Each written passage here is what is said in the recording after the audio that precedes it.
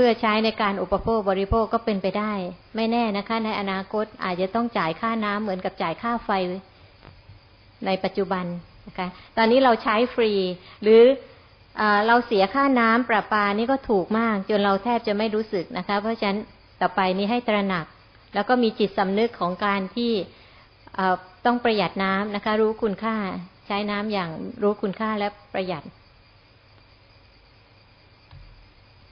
อะยังมีอีกหนึ่งรูปค่ะ ก็คือในรูปนี้แสดง แสดงให้เห็นปริมาณนะการกระจายนะคะ คล้าย ๆ เดิม แต่ว่าจะแสดงปริมาปริมาตรน้ำด้วย คือ คือส่วนที่เป็นน้ำเค็มอะค่ะ จะมีหนึ่งพันสามร้อยหกสิบห้าล้านลูกบาทกิโลเมตรนะคะ ส่วนที่เป็นน้ำจืดนี่ก็จะมีอยู่สามสิบห้าล้านลูกบาทกิโลเมตร เมื่อกระจายออกมาเนี่ยก็จะเห็นว่าส่วนที่เป็นสีฟ้าเป็นทานน้ำแข็งหิมะน้ำแข็งนะคะ ส่วนที่เป็นสีเหลืองเป็นน้ำใต้ดิน เพราะฉะนั้นส่วนที่ไหลอยู่ในแหล่งลำนะลำน้ำในแม่น้ำต่างๆ ในทะเลสาบน้ำจืดนี้แค่ 0.3เปอร์เซ็นที่เรานำมาหมุนเวียนมาใช้อยู่นะคะเพราะฉะนั้นปริมาณน้อย น้อยนิด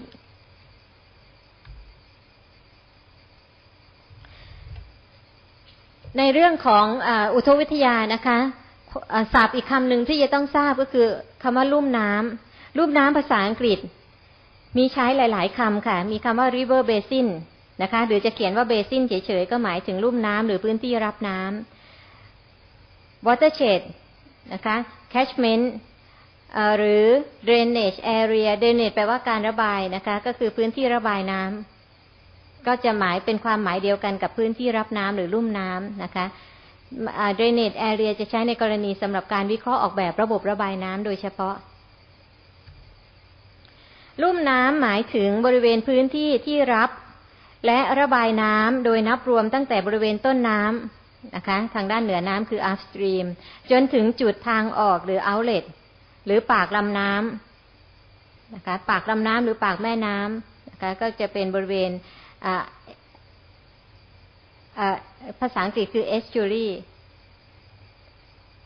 ถ้าเราวาดรูปแสดงรูปน้ำนะคะ รูปที่วาดจะลักษณะคล้าย ๆ กับใบไม้ค่ะ และที่แสดง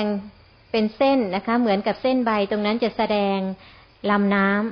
ำนะคะ หรือแม่น้ำต่างๆ การหาพื้นที่หรือขนาดของลุ่มน้ำใด ๆ นะคะ จะมีขนาดเท่ากันหรือแตกต่างกันนั้นขึ้นอยู่กับการกำหนดจุดทางออกของลุ่มน้ำค่ะ ขึ้นอยู่ว่าเราเลือกจุดไหนเป็นจุดทางออก เพราะว่าน้ำเนี่ยมันจะต้องไหลมาแล้วรวมกันที่จุดทางออกจุดหนึ่งการประมาณค่าของพื้นที่ลุ่มน้ำนะคะทำได้โดยการวัดพื้นที่นะคะ เวลาวัดพื้นที่เราจะวัดพื้นที่ซึ่งอยู่โดยรอบ พื้นที่ที่อยู่โดยรอบเนี่ย จะล้อมรอบโดยสันปันน้ำค่ะ ในแผนที่ภูมิศาสตร์คือเอาแผนที่ topographic map นี่นะคะ มากางออกมาดู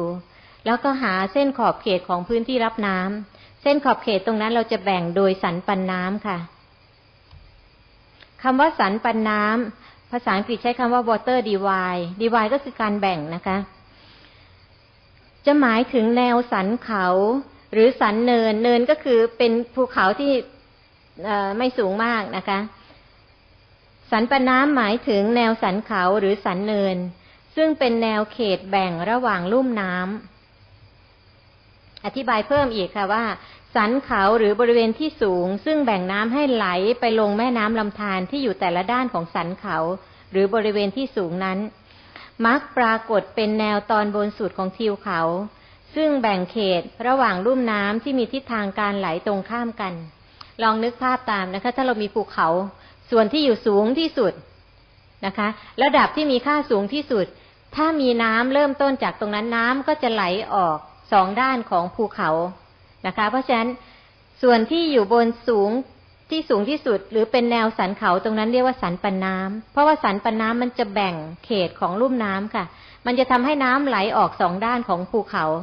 นะคะ และการที่ไหลออกสองด้านเนี่ย ก็จะทำให้เกิดพื้นที่รับน้ำหรือพื้นที่ลุ่มน้ำสองสองพื้นที่แตกต่างกันนะคะ และตัวแบ่งก็จะแบ่งโดยบริเวณแนวสันเขา หรือบริเวณที่มีความสูง ระดับความสูงสูงที่สุดนะคะลองดูตัวอย่างการหาขอบเขตพื้นที่รับน้ำเราก็จะต้องไปหาพื้นที่หาแผนที่มาค่ะ และในแผนที่ตรงนั้นก็จะต้องแสดงระดับความสูงหรือเส้นแสดงคอนทัวร์ของภูมิประเทศนะคะ แต่ตามเอารูปที่ยกตัวอย่างมานะคะ มันจะมีตัวเลขอยู่สองอย่าง พื้นที่ตรงที่มาร์กสีดำไว้เป็นตำแหน่งที่เราต้องการจะสร้างอาคารอะไรสักอย่างหนึ่งนะคะ ซึ่งจะต้องคำนวณหาขนาดพื้นที่รับน้ำออกมา ตัวเลขที่วงสีแดงไว้นะคะ จริงๆ แล้วเป็นตัวเลขที่แสดงปริมาณน้ำฝนนะคะ ซึ่งยังไม่เกี่ยวข้องกับเรื่องการหาขอบเขตของพื้นที่รับน้ำนะคะ แต่ว่าเผื่อจะงงเพราะฉะนั้นตัวเลขตรงนี้จะเป็นปริมาณน้ำฝนนะคะ เรายังเราจะเรียนในบทที่สองค่ะ แต่ตัวเลขที่แสดงระดับคอนทัวร์หรือเส้นชั้นแสดงความสูงนี่นะคะ ก็จะไล่ตามระดับสูงที่สุดไล่ไปเรื่อยๆ เวลาที่เราหาขอบเขตของพื้นที่รับน้ำก็หาแนว สันปันน้ำหรือแนวสันเขา หรือบริเวณที่สูงที่สุดของพื้นที่นะคะ ซึ่งตรงที่สูงที่สุดเนี่ยมันจะถือว่าน้ำมันจะไหลออกไปสองทิศทางก็คือทำให้เกิดลุ่มน้ำสองแห่ง ถ้าลองลากนะคะ เราก็จะต้องลากเส้น ไปตามเส้นสีเขียวนะคะ จะต้องลากไปตามเส้นบริเวณที่มีขอบเขต พื้นที่รับน้ำที่มีตำแหน่งคอนทัวร์ที่สูงที่สุดหรือหาแนวสันเขานั่นเอง หรือเนินเขาก็ลากไปตามบริเวณที่มีจุดที่สูงที่สุด เพราะจุดนั้นมันจะเป็นจุดสันปันน้ำหรือจุดแบ่งเขตของลุ่มน้ำนะคะ และจะทำให้น้ำไหลออกลงสู่พื้นที่ด้านข้างทั้งสองด้านของภูเขานะคะนี่เป็นตัวอย่างการหาขอบเขตพื้นที่รับน้ำ นะคะเวลาใช้งานจริง ๆ เราก็ต้องเอาด้วยว่าเราคำนวณออกแบบสำหรับพื้นที่บริเวณใดก็ต้องไปหาพื้น หาแผนที่ภูมิประเทศมาก่อน หาโทโปกราฟิกแมปมาก่อนนะคะ แล้วก็มาคำนวณบนแผนที่ดูก่อนหาขอบเขตพื้นที่รับน้ำต่อนะคะพื้นที่ลุ่มน้ำนะคะ ตลอดจนลักษณะภูมิประเทศ รวมถึงสภาพของพืชที่ปกปกคลุม และลักษณะทางธรณีวิทยา จะมีอิทธิพลทั้งทางตรงและทางอ้อมต่อปริมาณน้ำท่วมต่อในพื้นที่นะคะ น้ำท่วมเมื่อใช้คำว่า flood นะคะ มีผลต่อทั้งปริมาณและก็ลักษณะของน้ำท่วม และเราอาจจะแบ่งลักษณะของลุ่มน้ำออกเป็นสี่ประเภทนะคะ ดังนี้นะคะ ประเภทที่หนึ่งลุ่มน้ำรูปขนนก หรือภาษาอังกฤษใช้คำว่า phaser like basin เฟเซอร์ก็แปลว่าขนนกนะคะ ก็คือดูรูปร่างมันคล้ายขนนกจริง ๆ มันจะลักษณะรูปร่างพื้นที่ลุ่มน้ำจะมีขนาดเล็กและยาวเรียว เส้นที่แสดงคล้ายๆ เส้นใบเนี่ยนะคะ ก็คือลำน้ำนะคะ ก็จะมีลำน้ำหลัก แล้วก็จะมีลำน้ำสาขาย่อยไหลมารวมกัน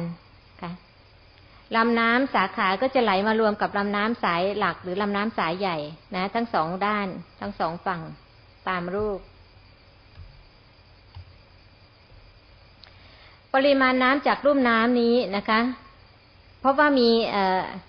อัตราการไหลค่อนข้างต่ำเพราะว่าระยะเวลาที่น้ำเดินทางเนี่ย ปกตินะคะ เวลาที่เราจะหาขอบเขตพื้นที่รอบน้ำเราต้องกำหนดจุดทางออกก่อน ซึ่งจะเป็นจุดรวม นะคะ เริ่มกำหนดจุดรวมก่อน แล้วหลังจากนั้นก็ไปหาขอบเขตของพื้นที่รับน้ำดูตามแนวของอสันเขาหรือสันปันน้ำเพราะฉะนั้นถ้ารูปน้ำรูปร่างยาวเรียวนะคะ น้ำก็ใช้เวลาในการเดินทางมาถึงจุดทางออกใช้เวลานาน เพราะฉะนั้นอัตราการไหลของน้ำจะค่อนข้างช้านะคะ และมี อัตราไหลสูงสุดของการไหลออกจากพื้นที่จะค่อนข้างต่ำ และก็ในปริมาณน้ำในแต่ละส่วนก็จะมีเวลาการไหลออกมารวมกัน ที่จุดทางออกไม่เท่ากันนะคะ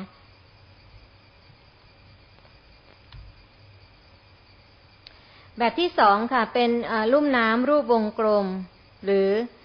radial basin พื้นที่ลุ่มน้ำที่มีสันปันน้ำคือขอบเขตเนี่ยนะคะ เราหา